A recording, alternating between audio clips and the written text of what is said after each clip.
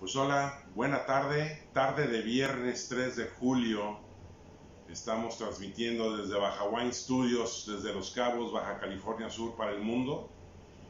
Y en esta cata el día de hoy, pues muy emocionados, quiero darle un saludo muy afectuoso a nuestro amigo Alejandro López este, de Riviera Wines, que nos hizo favor de apoyarnos con este padrísimo paquete que Baja Wines trae para ti en un costo impresionantemente atractivo, 1550 pesitos y te vas a llevar unos vinos increíbles. Estamos hablando de cinco vinos, dos chilenos, dos de California, muy muy interesantes que hoy vamos a catar juntos. Y bueno, vamos a empezar con una vinícola chilena, el único vino blanco de la tarde, porque hoy nos vamos a dedicar a catar vinos tintos y nos vamos con la vinícola de la marca Cantagua. Cantagua es una segunda etiqueta de una vinícola muy prominente en Chile que se encuentra específicamente en el Valle de Rapel, eh, que se llama Punti Ferrer. Y como ustedes, como bien suena, Punti Ferrer, pues sí, este Antonio Punti Ferrer, su fundador eh, y director general de padres españoles que llegaron a Chile hace a principios del siglo XX, él se dio a la tarea de junto con su esposa fundar Bodegas Punti Ferrer, que hoy en día es una bodega que produce 9 millones de litros, de los cuales 2 millones de ellos ya es una producción de tanques de concreto nuevos, estos fúderes nuevos que, que, que, están tan de moda, post terremoto chileno, y bueno, eh, crearon esta etiqueta que se llama Cantagua como una opción entry level, este, muy, creo que está muy bien lograda, una etiqueta muy bonita, su presentación, les muestro la, etiqueta. Es un vino que, que, lo van a encontrar ustedes muy bien, fácilmente en el interior de la República Mexicana y que nosotros lo tenemos aquí en Baja Wines en exclusiva. Ellos tienen dentro de lo que es el famoso Valle de Rapel, que ustedes saben que es sumamente famoso por producir merlots y carmeners de altísima calidad chilenos. Ellos tienen dentro de la denominación Rapel, tienen Cachapual, y Colchagua. Son dos subdenominaciones dentro del Valle de Rapel, donde ellos tienen sus viñedos y tienen viñedos tanto más pegados hacia el Océano Pacífico como, también viñedos pegados hacia la ladera de los Andes. Entonces, estos cambios climáticos dentro de lo que ellos producen, Sauvignon Blanc, Pinot Grillo, Chardonnay, Syrah, Cabernet Sauvignon, Merlot, Carmener, Cabernet Franc, eh, dentro de todas estas uvas, ellos seleccionan la cercanía al Océano Pacífico, en el caso de las uvas blancas, en sus territorios, y también la lejanía del océano y más pegado a la cordillera de los Andes para tener más altura para sus uvas tintas. Entonces, el caso del día de hoy, pues nos compete este Chardonnay, que es denominación Valle de Colchagua, en Chile, dentro de la denominación del Valle de Rapel, y pues vamos a ver que es un vino con un color bastante intenso, amarillo dorado, ya con sus colores bien, bien desarrollados, de un Chardonnay, a diferencia de un Sauvignon Blanc, que pudiéramos irnos a esos tonos un poco más verdosos, más transparentes, más translúcidos. Y no es el caso de este Chardonnay chileno, ¿no? Eh, el cuerpo lo vemos que tiene un cuerpo aparente en copa de medio a ligero, no es un vino de mucho cuerpo, es un vino que realmente tiene un paso muy, muy rápido por barrica. Estamos hablando que este Chardonnay pasa solamente tres meses en barricas de roble francés de tostado intenso, ¿no? Y pues lo que quiere el enólogo es, sí, que tenga un poquito de madera, pero respetar la fruta, que sea un vino tanto para conocedores como para los que no conocen de vino. Ya lo hemos platicado varias veces, esta técnica de utilizar poco tiempo en barrica, pero con un tostado intenso para que dé el aporte de una manera rápida, ¿no? Vamos a verlo en nariz. En nariz, bueno, las características de un Chardonnay chileno uh, de clima fresco. Para ubicarnos un poquito, Valle de Rapel se encuentra al sur de la capital de Chile, que es Santiago. Entonces, prácticamente está a la mitad de ese esa franja que es Chile. Eh, eh, Rapel se encuentra en la parte media, entonces sí goza de un clima mucho más fresco. Y estos viñedos que se encuentran más, cercanos al mar, pues obviamente sabemos que el Chardonnay, al igual que el Pinot Noir, les encanta esta frescura de clima. No les gustan los excesos de sol para que se manifieste muy bien. Entonces tenemos aquí manzana Manzana roja, tenemos un poco de piña tropical, es un vino tropical, el Chardonnay del Nuevo Mundo así lo es, es un vino muy, muy tropical. Me da incluso unas notas a, plátano, a plátano en perfecto estado, óptimo de, maduración, no, no plátano maduro. Un poco de, de flores blancas y melón también, en fin, es un, es un Chardonnay que se siente muy, muy tropical. Eh, eh, ya lo hemos platicado cuando hablamos de los Chardonnays del Nuevo Mundo. Obviamente van a tener, si tienen un paso por barrica, van a tener sus sabores también lácteos. Aquí tenemos un poquito de mantequilla este, levemente quemada eh, por ese paso de, tostado de la barrica. Y son chardonnays mucho más tropicales que los chardonnays del viejo mundo. ¿Por qué? Porque aquí Obviamente no, no, hay tanta acidez como, como los chardonnays del viejo mundo. Aquí vamos a ir más hacia la fruta. Recordemos que los enólogos en América tienen el problema que al, al haber esta abundancia de sol, la fruta desarrolla una gran cantidad de fructosa y al momento de la fermentación, pues los enólogos van a tener más azúcar eh, que en el viejo mundo, por, por ende los vinos van a ser más alcohólicos y el enólogo tiene que balancear el alcohol con una potencia frutal más elevada que el caso opuesto del viejo mundo es al revés. Allá la carencia de sol los obliga a ellos a tener vinos de mayor acidez, menos alcohol, más frescura y ellos son los que luchan un poco más para tratar de sacar la fruta este, en sus vinos, ¿no? Entonces es un poquito la diferencia climática de lo que pasa en el viejo mundo, el nuevo mundo, pero hoy en día con el calentamiento global, bueno, los europeos les está yendo maravillosamente bien y estamos cada vez más viendo vinos con un mayor contenido alcohólico, 13.5, 14, que antes era difícil verlos en vinos europeos. Bueno, vamos a probar este Cantagua Chardonnay Valle de Colchagua y estoy catando la cosecha 2018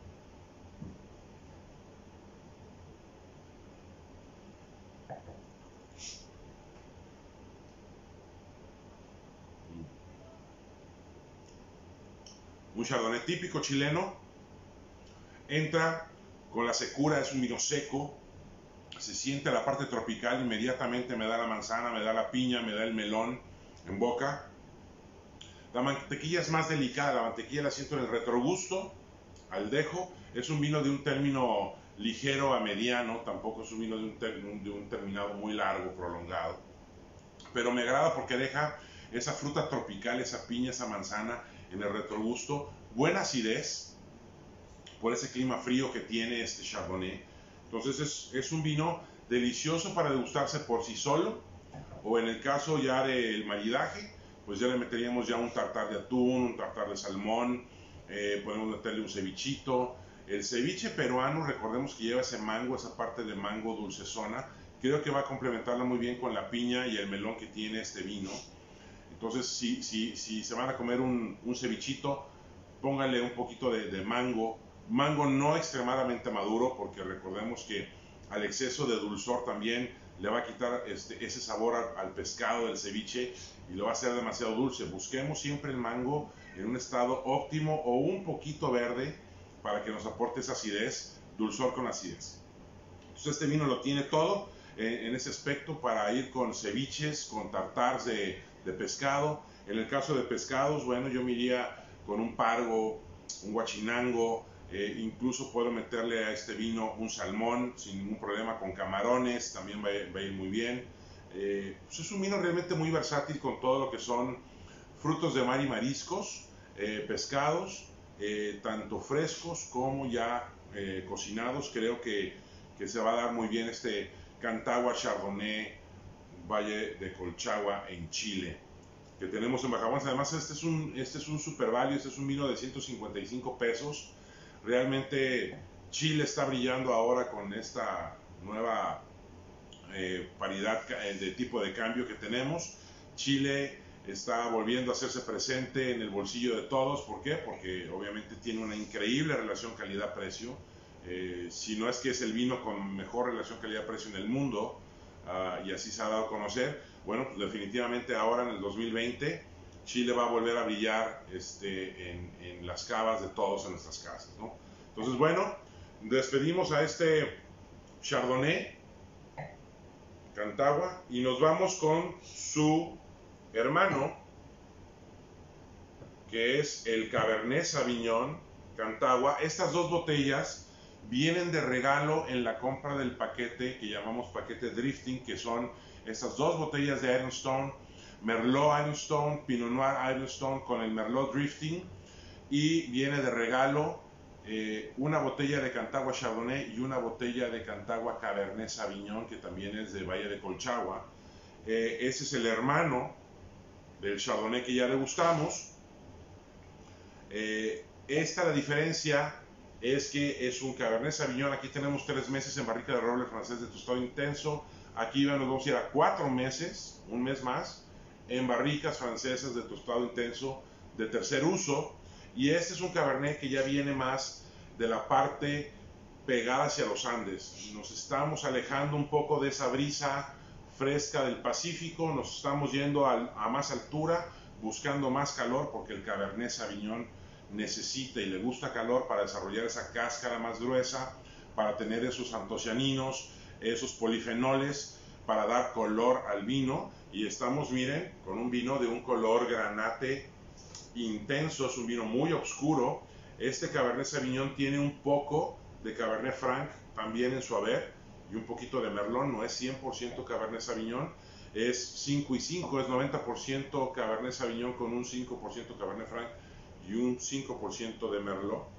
Eh, un vino muy interesante en su color, nos hace ver que es un vino de cuerpo medio, en el cuerpo aparente en la copa, si ya, ya las, las, piernas ahí se cuelgan y bajan más suavemente. Esta es la cosecha 2016 del Cantagua, entonces ya es un vinito que ya tiene ya unos años en botella, entonces se, se, se va a sentir ya más evolucionado, el tanino un poco más redondo, Vamos a leer este, este Cabernet Sauvignon.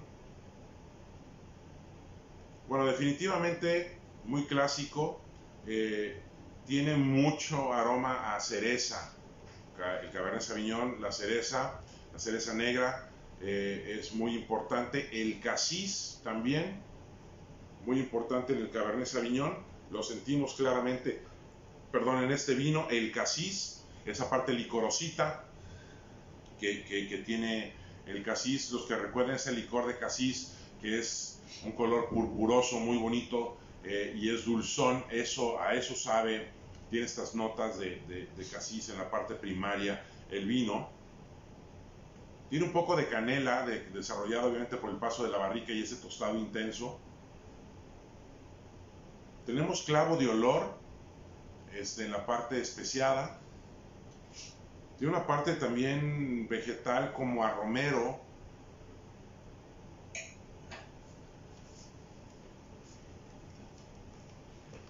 Tomillo también, incluso la parte vegetal del vino lo encuentro de esa manera.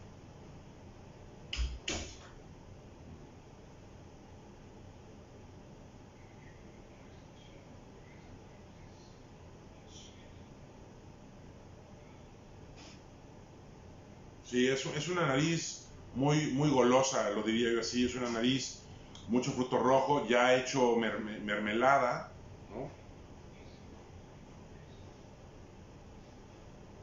Vamos a probarlo.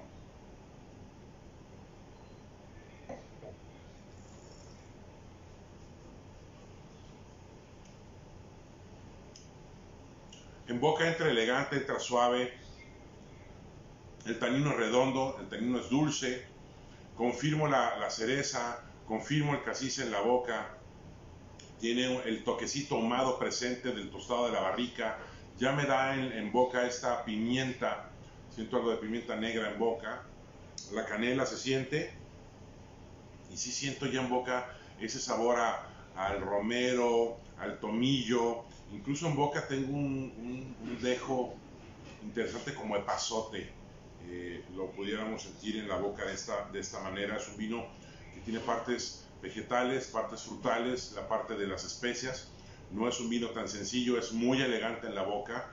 Ah, se siente suave en el ataque tánico, no es tan intenso. Entonces, pues bueno, vino que se siente muy bien. Quiero saludar, este, obviamente, a la gente que nos está haciendo favor de acompañarnos Empiezo con mi jefe Héctor Zúñiga, que está aquí conmigo compartiendo y siempre me está apoyando para que los videos salgan mejor. Este, aquí estamos disfrutando de estos vinos en la oficina. A Rogelio Cortés, nuestro director comercial, buen Roger, que no se pierde ni una carta tampoco. Ariel Roberts, también. Ariel, ¿cómo estás? Gusto saludarte. El Máster Mendoza, otra vez. Llevas 3 de 3, mi querido Ernesto, muchísimas gracias. A César Pérez también. Un saludo hasta allá, hasta León, Guanajuato, ya provincia. Un saludote. Y bueno, pasamos ahora a los vinos de California. Ya, ya catamos Chile, ahora agarramos el avión, nos vamos a San Francisco y de San Francisco tomamos el coche y nos vamos hacia la parte por el, el puente de Oakland y nos vamos como si fuéramos hacia Sacramento, hacia la capital del estado de California. ¿Por qué lo digo de esa manera? Porque vamos a encontrar entre Sacramento y San Francisco eh, quizás la apelación, la ABA más famosa del Valle Central, que se llama Lodi. Y en Lodi se encuentran nuestros amigos de Ironstone. Esta vinícola tan famosa es una de las vinícolas más importantes de California eh, por su tamaño, una vinícola muy, muy, muy importante. Eh, que John Kuntz con su esposa Gail fundaron de la, de la mano de su, del papá de John. Eh, el papá de John fue un agricultor dedicado a la uva, que al morir le hereda en 1953 a su hijo John. Eh, él tenía prácticamente 15 hectáreas de uva plantada, nada más. Y, y John, John, con su mente innovadora, como buen agricultor, empezó a meterse a comprar, a invitar a la gente a que se asociaran con él y eh, empezó a hacer vinos de muy buena calidad. Hoy en día tiene una de las vinícolas este, más hermosas de California, eh, muy, muy californiana con su arquitectura, hecho con madera. Es una belleza lo que es Ironstone. Y Ironstone obviamente tiene ya como, como la marca que es en día de hoy, que es, ya es una marca muy importante en producción, tiene varias etiquetas. Hoy vamos a, degustar otra etiqueta de ellos que es Drifting también. Pero bueno, terminado con Ironstone. Ironstone, John empieza a crecer, a crecer en territorio y hoy en día tiene más de 2.800 hectáreas eh, de, de, de, vides en Lodi. Entonces, de empezar con 15, llegar a, a más de 2.800 hectáreas, pues se dice muy fácil, pero hacerlo, señores, créanme, si ustedes han visto lo que son 2.800 hectáreas, es enorme. Eh, eh, y más si son de video, de, perdón, de viñedos. Y estamos hablando de que Ironstone produce una cantidad de varietales muy importantes. El día de hoy vamos a, a, catar dos de ellos, un Pinot Noir y un Merlot. Pero obviamente produce Cabernet Sauvignon, produce un Cabernet Franc, eh, produce Pinot Grillo, produce Chardonnay, produce Sauvignon Blanc, produce esta famosa uva Symphony eh, que se desarrolló en la Universidad de Davis, California. ¿no? Es la, la, uva americana famosa, tiene una etiqueta que se llama Obsession, eh, y eh, también produce un poco de Chenin Blanc, produce un vino rosado, en fin, produce una cantidad de vinos varietales, obviamente con toda, con toda esa tierra que tienen ellos, para producir estilos y ya, ya se los he platicado anteriormente que el Valle Central eh, es el valle, la zona vinícola más grande del mundo. ¿okay? Entonces, se encuentra en el estado de California, es la zona vinícola como tal más grande en el mundo, o sea, es el territorio plantado dentro de una denominación o una zona determinada con un nombre específico más grande del mundo plantada de viñedos. Recordemos que España es el país con más viñedos plantados en el mundo, pero como una zona específica lo es en territorio, lo es el Valle Central de California. Y ahí obviamente se dan un sinfín de uvas, obviamente producen sinfandel, ¿no? Es, es, es, importante. Y bueno, vamos a ver este Pinot Noir. Esta es la etiqueta principal de ellos. Arriba de esta etiqueta está la línea reserva de Ironstone, que obviamente también la tenemos a la orden aquí en Baja Wines. Pero vamos a catar el día de hoy esta la etiqueta que es Ironstone. Uh, bien interesante lo que te voy a comentar ahorita entre Ironstone y Drifting. prácticamente los tres vinos, el Pinot Noir, el Drifting Merlot y el Ironstone Merlot, los tres vinos tienen tres meses de reposo en barrica de roble francés. La diferencia es que las barricas de Ironstone, tanto Pinot Noir como Merlot, son barricas de roble francés nuevas. ¿Ok? Esa es la diferencia. Completamente nuevas. Las barricas del Drifting Merlot son las barricas que se utilizan para Ironstone. Entonces, ¿qué quiere decir? Son barricas de segundo o tercer uso de roble francés de tostado intenso. Cuando aquí tenemos en las de Ironstone, las nuevas son barricas de roble francés de tostado medio. Eso es bien importante. ¿okay? Entonces toman, una vez que ya se, se, se termina de utilizar el, las barricas de roble nuevas francesas para la etiqueta de Ironstone esos vinos, se vuelven a raspar esas barricas, se vuelven a tostar ya en un tostado más intenso y entonces se meten los vinos de drifting que tenemos aquí en Los Cabos, dos expresiones en tinto, Merlot y Cabernet, y en blancos tenemos un Sauvignon Blanc delicioso y un Chardonnay estupendamente bien logrados con un increíble value. Ok, entonces bueno, Pinot Noir. Pinot Noir, ya hemos catado varios Pinot Noirs, es una de mis uvas favoritas. Yo amo el Pinot Noir por esos sabores tan especiales, únicos que da, ¿no? ¿Por qué lo digo así? Porque sí, porque a veces las uvas bordalesas, el Cabernet Sauvignon, la Merlot, el Cabernet Franc, la Malbec, te van a dar esa familia de frutos rojos muy similares dentro de la cereza, este, la ciruela, ¿no? Eh, el casis. Pero cuando tú hablas del Pinot Noir, te vas a la fruta roja de bayas. Te vas a ir a la frambuesa, a la zarzamora, al arándano, ¿no? A toda la familia de las berries. Y esto es, lo hace muy especial el Pinot Noir.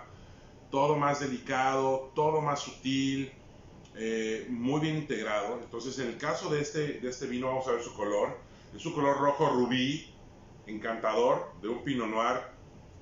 Que quiero decírtelo, no es 100% Pinot Noir. Este es un 85% Pinot Noir con un 10% de Shiraz, que obviamente es Shiraz, pero cuando te ponen en la etiqueta, en una ficha técnica, la palabra Shiraz, acuérdate, ya lo dijo muy bien este, nuestro querido Rogelio Cortés en otro video, se refiere a la manifestación de la uva Syrah, a esa fruta compotada, ese Jamines, ¿no? Es un vino con más extracción frutal, que nos vamos a ir hacia la jalea, y no va a ser como la manifestación del Syrah, que es más mineral, que es más hacia el grafito, que más hacia la fruta fresca. Entonces, este vino tiene un 10% de Shiraz y termina con un 5% de Petit Syrah. Esta es una mezcla muy común de hacerse los Pinot Noirs en Estados Unidos, en California. ¿Para qué? Para darle un poquito más de porte de color y darle un poquito más de complejidad al Pinot Noir. Entonces no te asustes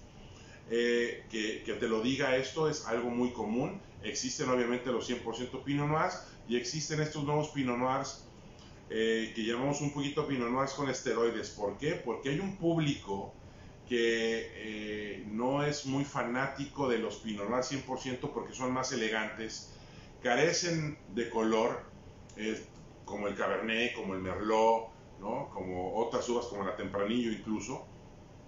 Y la gente cuando lo ve que el color es más translúcido piensa que el vino es aguadito, que no tiene cuerpo, que no tiene estructura.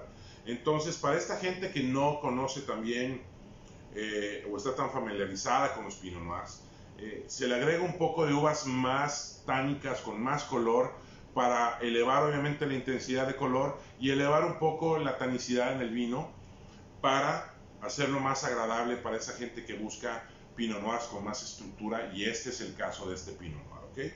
Entonces, bueno, vamos a verlo. Definitivamente predominan los aromas al Pinot Noir. Me predomina el arándano, me, me predomina la frambuesa, me predomina la zarzamora,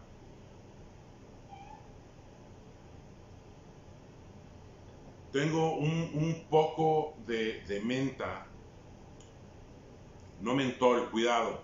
Ayer en una carta muy interesante que dimos este, vía Zoom de Gueiroso, eh, la sommelier corporativa Sandra de León, a la cual le mando un saludo, platicaba de la diferencia en el mentol eh, este, y la menta, la hoja de menta como tal. El aroma de la hoja de menta es mucho más fino, más delicado.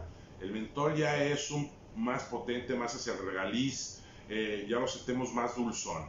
Y este vino no, lo tiene prácticamente como, como la hoja de la menta, muy delicado.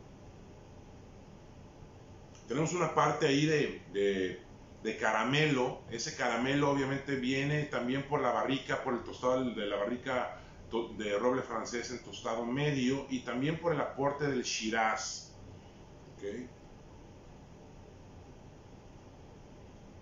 Algo de notas a vainilla, por supuesto, canela, muy característicos de los Pinot Noirs americanos, ya lo hemos, ya lo hemos visto.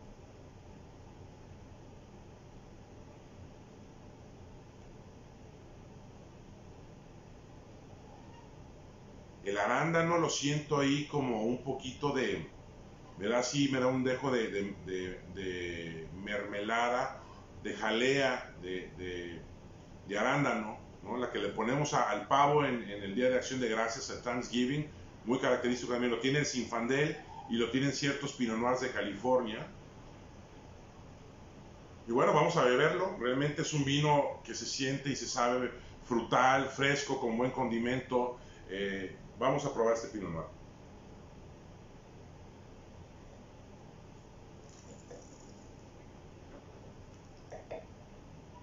Mm.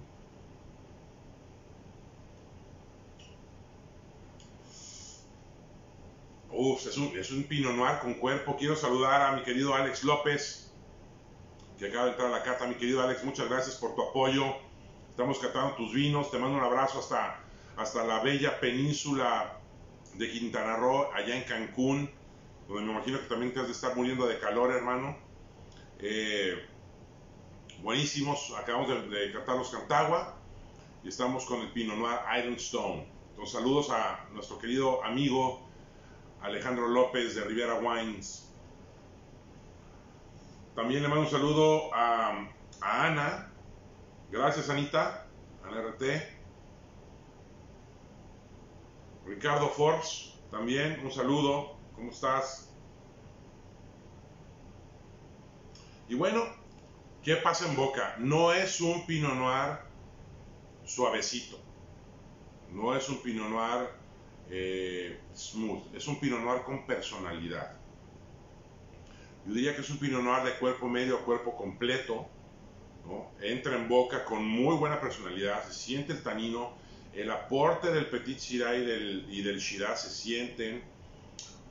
No es agresivo, pero es un vino que se va a toda nuestra boca, se siente redondo, hay buena estructura, hay muy buena fruta en el vino. Siento yo ya la parte de la canela en boca, siento también el caramelo, esos sabores, notas ahumadas de la barrica. Y recuerden, solamente tiene un paso de tres meses, pero es barrica nueva. La barrica nueva significa que le va a dar un aporte muy importante del tanino de la madera. Cuando, imagínense, la diferencia de merma del aporte de tanino de una barrica nueva a una de ya de segundo uso, merma un 60% del aporte de tanino al vino. Entonces, un 60% es un montón eh, en lo que puede la barrica aportar de, de ser nueva a ser ya una barrica de segundo uso o tercer uso, ¿no? En este caso, al ser barrica nueva, pues bueno, se siente el tanino de, la madera presente y lo va a hacer un vino con más cuerpo, más denso.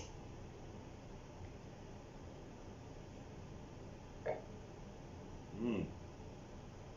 Un muy agradable sabor a frambuesa, zarzamora, el arándano. Sí me da un poco de, cereza. Eh, cereza ya un poquito licorosa la que le ponemos a la coctelería o la repostería, esas cerezas pequeñitas, muy ricas. Eh, no es un vino sencillo, es un vino complejo, es un Pinot Noir de buen cuerpo, yo diría cuerpo medio, cuerpo completo, como se los comenté. El maridaje de este Pinot Noir. Lo que me gusta de los Pinot Noirs de California es que tiene un maridaje muy amplio. Eh, tienen un contenido alcohólico lo suficientemente importante y una tanicidad y una fruta eh, importantes que nos permiten irnos a un espectro de maridajes mucho más amplio. Entonces, si me voy yo, por ejemplo, al mar, yo me voy con pescados, un, un guachinango zarandeado, un mero, un pargo, un atún sellado, este, o un atún ennegrecido con un chutney iría maravillosamente bien. Un salmón con cáscara, definitivamente. A mí me encanta el salmón con cáscara. Realmente yo no sé por qué siguen cocinando muchas personas el salmón sin su piel. Lo hace maravilloso, lo, lo eleva a otro nivel y además nos permite maridar el salmón con vinos tintos como este, porque ese contenido graso del omega 3 que se encuentra en la piel del salmón, ese crocante que le da, es otra experiencia y en el maridaje con vinos tintos lo ayuda de una manera muy, muy, muy importante. Entonces, yo te invito a que cuando pidas tu salmón, lo pidas con piel. Es bien importante y más con este vino, pruébalo. Va a ser una experiencia deliciosa, un super wine pairing que creo que te va a encantar. Si me, si me alejo de, de los pescados y ya me voy a, a, la proteína de tierra, definitivamente con un pollo rostizado, un roasted chicken con su grasita, con su piel, va a ir maravilloso, espectacular, así solito, o ese pollo rostizado con adobo va a ir muy, muy bien. Yo eh, ya acompañaré este vino con un pato, tiene la suficiente personalidad tánica el vino para acompañarse con un magre de pato o con un confit de pato. Creo que va a ir extraordinariamente bien. Un shank de cordero, no el costillar, el shank de cordero va muy bien eh, con este vino. Un filete de res, también unas costillas de, cerdo, creo que van a ir muy bien, o unas chuletas de cerdo también, como no. Eh, creo que van muy bien. El lomo de cerdo como tal y más. Recuerden que la carne de cerdo es maravillosa con el Pinot Noir. Eh, por el, y con el Pinot Noir californiano, mejor, porque el Pinot Noir californiano tiene esa fruta roja. Si nosotros agarramos un, un, un lomo de cerdo, lo sellamos muy bien y luego lo vamos laqueando con una salsa del fruto rojo que te guste, de la cereza, de zarzamoras, de arándanos frescos o la mezcla de esos y vas laqueando poco a poco ese lomo de cerdo. Con este vino te vas a llevar una experiencia maravillosa. ¿Por qué? Porque la carne de cerdo es dulce, recordemos. Al momento de la cocción se vuelve dulce y con este demiglés que le vas a dar con estos frutos rojos, creo que ir extraordinariamente bien. A mí se me viene a la mente, creo que podría ser el mejor maridaje para este Pinot Noir. Es el lomo de cerdo bien sellado a las brasas con un demi-glace de frutos rojos, eh, creo que va a ser extraordinario.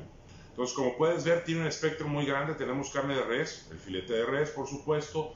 Podemos ponerle el cerdo, tanto el lomo de cerdo como la chuleta o la costilla de cerdo va a ir muy bien. Tenemos un sinfín de pescados, ¿no? desde pescados de, piel, de carne blanca a, a peces ya eh, azules que se llaman, como el atún, como el salmón incluso con un pez espada puede ir también maravillosamente bien así al grill. Trata siempre de acompañar tu proteína con algo similar que tenga el vino, una reducción de frutos rojos, con algo de balsámico este, para que se caramelice. Creo que va a ir muy, muy, muy bien esto. Ya, ya me dio hambre. No sé ustedes, son las 12 con 35 minutos y ya me dio hambre. Bueno, delicioso este Pinot Noir, en serio, Ironstone Pinot Noir Um, este es un maravilloso Lodi Appellation 2017. Te enseño la etiqueta nuevamente, que significa que estamos bebiendo un, vino de una sub-ABA, que es Lodi, dentro de lo que es el Valle Central. Recuerda la denominación más famosa de, del Valle Central, que es la región vinícola más grande del mundo. Seguimos con otro vino de la familia Ironstone, y como te, yo te comentaba, Ironstone tiene varias etiquetas y de esas etiquetas tiene Drifting. Y Drifting llegó a nosotros a Baja Wines para quedarse definitivamente porque tiene una increíble relación calidad-precio. Este es un, eh, son esos vinos californianos que están tan bien hechos con un precio tan, tan accesible. Estamos hablando es un vino de 290 pesos. Perdón, el Pinot Noir, para los que sepan, es un vino de 450 pesos nada mal para un Pinot Noir de esta calidad, extremadamente bien porque si quieres gastar en Pinot Noir, sabemos que hay que meterle dinerito al Pinot Noir para que, para que te lleves algo de calidad y este vino lo amerita muy bien. Entonces, ya estás hablando, miento, miento, miento, es un vino de abajo de 400 pesos, estamos hablando de un Pinot Noir de 398 pesos, correcto. Entonces, es un super value la línea Armstrong, 398 y nos vamos con Drifting, que es un vino de 290, extraordinario. Como te comenté, en la línea Drifting, Baja Wines tiene Cabernet Sauvignon, Merlot, Chardonnay y Sauvignon Blanc. El Sauvignon Blanc nos acaba de llegar nuevecito de paquete, nos lo mandó nuestro querido amigo Alex López. Eh, tiene que estar en las cartas de vinos de ustedes, señores, y en sus cavas. Es un súper, súper Sauvignon Blanc californiano que te va a encantar. La diferencia entre Ironstone y Drifting te lo comenté. También son tres meses de añejamiento en barrica de roble francés, pero son las barricas de Ironstone, ¿ok? Entonces es barrica de segundo o tercer uso, se vuelven a tallar y el tostado se vuelve intenso para darle más sabores a, humo, a caramelo, a este merlot. Es un 100% merlot, eh, el, drifting. Y a diferencia del Ironstone que vamos a probar, que ahorita te voy a platicar la combinación de, de uvas, ¿no?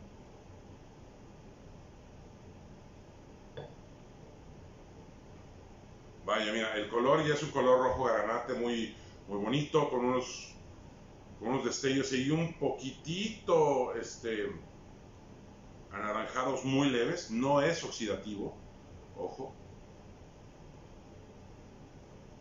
Miento, al acordarme de esto no es, miento, no es, no es 100% Merlot, mi equivocación, me disculpo, es 85% Merlot que tiene un, un 10% Cabernet Sauvignon y un 5% Cabernet Franc. Ese es el blend de Drifting Merlot. Y como le dice la apelación, 85% de la uva contenida, si empezamos en la denominación California, si es un California tiene que ser 75. En el caso del drifting tenemos 85, entonces es un Merlot, por lo cual está permitido ponerle en la etiqueta la palabra de la uva, o el nombre del varietal. Merlo, ¿va? Entonces vamos a verlo. Muy California, nos va a dar esa fruta roja, la cereza, la ciruela, un poco de grosella. Unos toques muy interesantes, esa mantequilla quemada por la maloláctica del vino. Mm. Caramelo,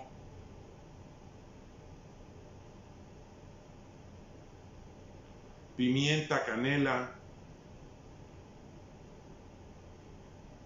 esa nota de toffee, toffee licorosa, ese chocolate licoroso con frutos rojos, muy interesante. Es un vino joven. Drifting se hizo para ser un vino introductorio con mucha calidad. Eso sí, Ironstone siempre tratan de ser en todas sus etiquetas los mejores vinos posible. Su enólogo pone mucha atención al cuidado de la uva. También es muy importante, estos son viñedos más jóvenes con los que se hace drifting, a diferencia de los Ironstone. Estamos hablando que los, los, los viñedos de Ironstone son viñedos de aproximadamente 45 a, a 60 años de edad. Los viñedos de drifting son viñedos más jóvenes, estamos hablando ya de, de vides de entre los 15 a los 25 años de edad. Entonces, Diferencia, obviamente aquí tenemos, vamos a tener un poquito más de rendimiento que en la, en la parte de Ironstone, al ser vides más, más viejas hay menor rendimiento. En drifting tenemos vides, eh, vides más jóvenes, tenemos mayor rendimiento por hectárea, ¿no? Vamos a catar el Drifting Merlot y este es un 2018.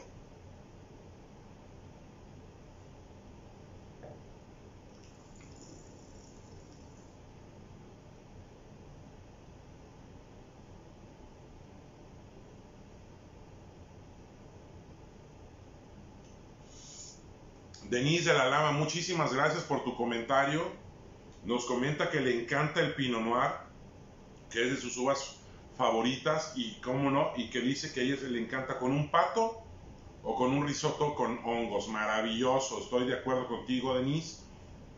El Pinot Noir con risotto es extraordinario, eh, un maridaje bellísimo. Y, bueno, como les comenté, este es un gran, gran value eh, hoy por hoy. 250 pesos masiva, es un vino de 296 pesos. Increíblemente bien logrado. Vuelvo a repetir, otra cosa que me encanta, la taparrosca, el screw cap, maravilloso. Agarras, sirves, tapas a tu refrigerador, queda hermético, no se va a chorrear el vino y vas a prolongar la vida del mismo en tu refri. Si nada más te quieres tomar una copita al día, este vino está muy bueno, no creo que, vaya a ser el caso de que tomes una copita al día, pero bueno, si lo quieres guardar, no te lo terminas sin ningún problema. Gracias al screw cap, lo guardas en tu refrigerador sin ningún problema. El vino al día siguiente va a estar igual de bueno. Los vinos tintos con esta potencia tánica que vienen en taparroscas, sin ningún problema te duran 5 o 6 días. Yo he probado algunos vinos que si los tienes en tu refri bien, este, duran hasta 7 días, toda una semana, en perfecto estado, eh, gracias a, la taparrosca. Entonces, bueno, ya lo sabes, que no te dé miedo comprar vinos de taparrosca. Eh, hay vinícolas hoy en día que te venden vinos arriba de los 1500 pesos, eh, que vienen en screw Entonces, imagínate esto. No, no, es falso pensar que los vinos en taparrosca solamente eh, eh, eh, son para los vinos económicos, no, esto no es cierto, hay vinos muy caros que, vienen en taparrosca. Bueno.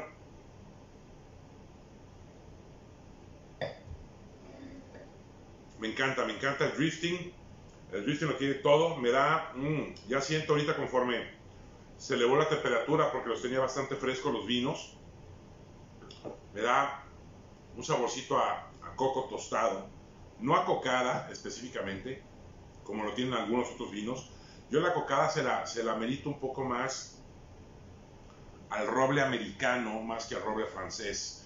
Eh, es más característico del roble americano por su porosidad, es mucho más poroso que el roble francés.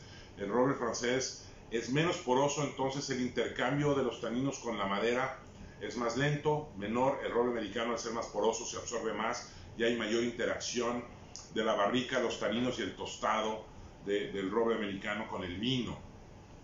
Entonces sí le aporta más dependiendo del tipo de tostado, estos sabores a coco, a, cocada, este, tan agradables si están bien controlados, ¿no? Bueno, nos vamos al papá del drifting, nos vamos al Ironstone Merlot. Sí, yo estoy dando mucha lata con el Merlot porque se me hace muy injusto que haya tenido que sufrir tanto por el éxito de la película de Entre Copas o de Sideways. Eh, película que sí, le agradezco que le haya dado el lugar que merece la uva Pinot Noir, eh, porque siempre ha sido la uva tinta, eh, la uva más difícil de vinificar correctamente, pero desgraciadamente le dio la torre a nuestra querida uva Merlot, le dio una mala reputación eh, sin merecerlo, porque la uva Merlot es la uva que hizo que las damas, las mujeres empezaran a beber vino, haciendo vinos más amables porque su tanino es más aterciopelado, es más sedoso que el Cabernet Sauvignon. Entonces es, es una uva que produce grandes vinos tánicos. Te voy a dar nada más tres nombres famosos, Petrus, Lepin y Maceto. Hay nada más, para que sepas. Los tres grandes merlots carísimos, de los vinos más cotizados y buscados a nivel mundial, y son merlot, ¿ok? Entonces, para que luego no te vayas con la finta de que el merlot hace vinitos sencillitos como los que hacen nuestros amigos en Chile, no, no, no, no. Chile también produce grandes merlot de grandes niveles, de grandes precios, eh, y es una uva magnífica para todo momento. El merlot, creo que su gama de maridaje es mucho más amplia que la del Cabernet Sauvignon, porque en, expresiones como esta, que no es tan, tan, tan agresivamente tánica, eh, nos permite hacer un vino redondo, más fácil de beber, con mucho cuerpo, pero no es agresivo, no es astringente. Entonces, es un vino muy agradable que tanto las, las mujeres como los caballeros también pueden disfrutar igual. A los hombres que les gustan esos vinos corpulentos con tanino, el merlot les va a ir bien, pero a las mujeres que les gustan los vinos no tan tánicos y agresivos, pero con presencia y con mucha, podemos decir, mucha ah, complejidad, merlots como este te van a encantar, tenlo por seguro. Entonces, bueno, hermoso color, también un rojo, rojo granate, eh, un rojo profundo, diríamos, ¿no? Este, un burgundy, ¿no? Obviamente la uva merlot viene de la de Burdeos, perdón, un Bordeaux, no, no Borgoña. Eh, color intenso, muy bonito, es un vino joven, no hay evolución en él, realmente eh, se ve perfectamente filtrado este vino, ¿no? sin ningún problema. Cuerpo aparente en copa, bueno, ya, ya, ya se pega más el alcohol en el vino y ya tarda más en bajarlo, por lo que estamos en un vino de, de capa media completa a completa. Es un vino de mucho cuerpo. Este, no lo digo 100% que es de cuerpo completo, porque el Ironstone Reserva es de cuerpo completo. Un vino mucho más robusto. Vamos a oler este vino. Mm. Si hay una diferencia de intensidad, créanmelo, este, entre el Ironstone Merlot y el Drifting Merlot. ¿okay? Ojo, no quiere decir que uno sea mejor que el otro. La gente piensa que porque, porque hay una diferencia de precio de uno al otro puede ser mejor. No, es el estilo que te guste más. Va a haber gente que le va a encantar el, el drifting porque no es tan tánico como el Ironstone, eh, porque es más frutal, porque es más fácil de beber, eh, no tan astringente. Y hay gente que le va a gustar el Ironstone Merlot, más personalidad, un vino más robusto, ¿no? Eh, recuerden que es erróneo pensar que si el vino es de cuerpo completo es mejor que el vino que tiene un cuerpo medio. Eso no, depende de muchos factores, pero al final de, al final de cuentas depende de lo que te gusta a ti, de tu paladar, ¿no?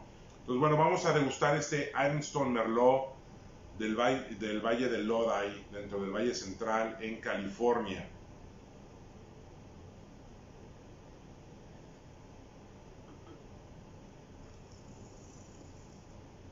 Mm.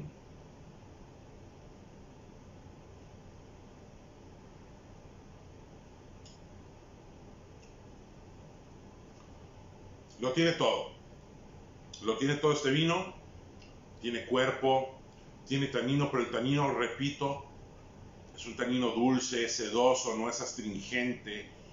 Entra con personalidad, pero no te seca la boca. Todo lo contrario, te deja un, un gran dulzor fresco en boca. Tiene esa parte, me está dando en boca algo que no sentí en nariz. Menta, frescura, al final retrogusto, el retronasal me da frescura, me da esa menta, hoja de menta también bien, bien, bien interesante esto que estoy sintiendo con estos vinos de la familia Ironstone, ¿no?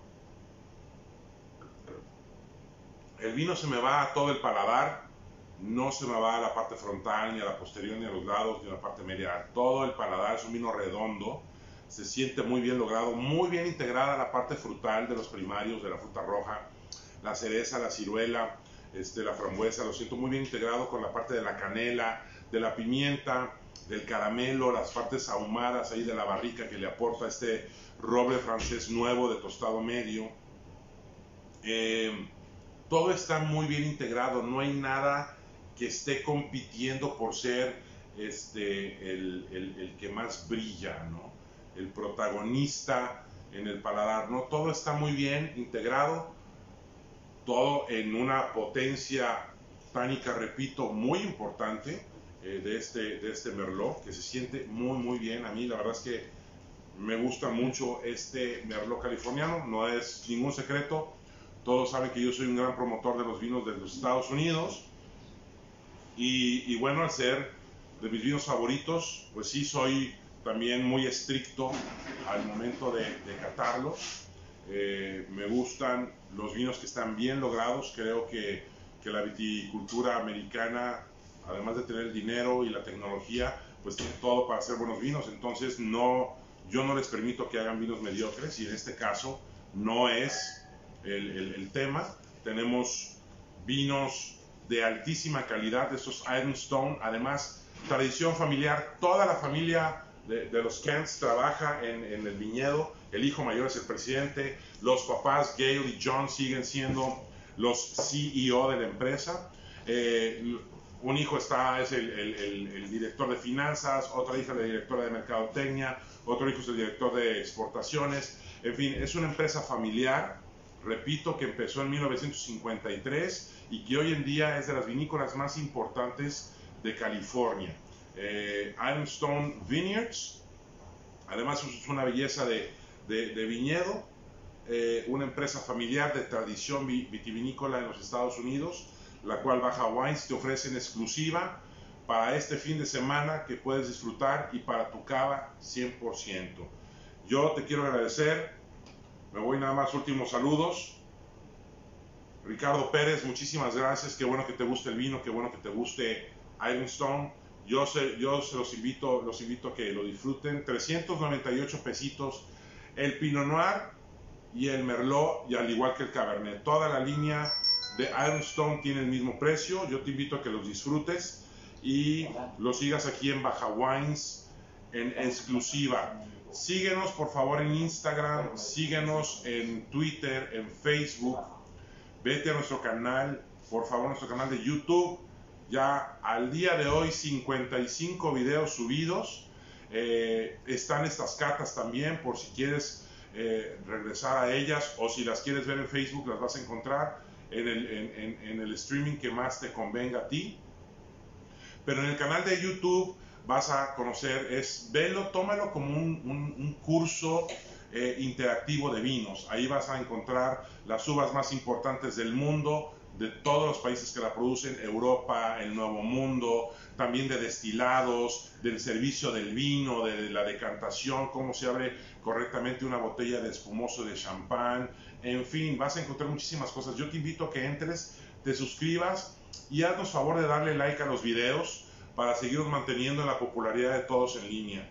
Y bueno, nada más recordarte que Baja Wines todas las semanas sacamos paquetes nuevos pensando en tu economía, pensando en darte la mejor relación calidad-precio con los mejores vinos del mundo.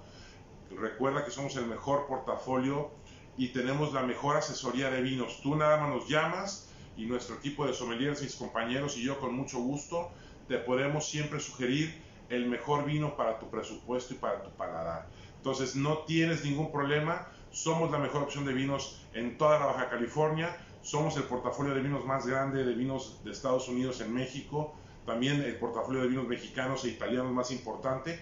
Entonces, por favor, llámanos, ven con nosotros y te entregamos, la belleza de todo esto es que te entregamos tus vinos en casita, para que te sigas cuidando y lo sigas disfrutando en familia. Entonces, bueno, feliz viernes, feliz fin de semana. Yo te veo, si Dios quiere, el próximo miércoles en otra cata de Baja Wines. Y estate atento porque mañana sábado salen nuestros nuevos paquetes de la próxima semana. Yo le quiero dar un saludo nuevamente y un agradecimiento a Alejandro López de Rivera Wine Spirits. Gracias, Alex, por apoyarnos con tus vinos a todos los que nos hicieron favor de acompañarnos aquí en esta transmisión eh, en vivo de esta cata. Gracias siempre por apoyarnos y cuídate mucho, quédate en casita y cualquier cosa que necesites de vinos, Baja Wine, somos más que grandes vinos, grandes experiencias.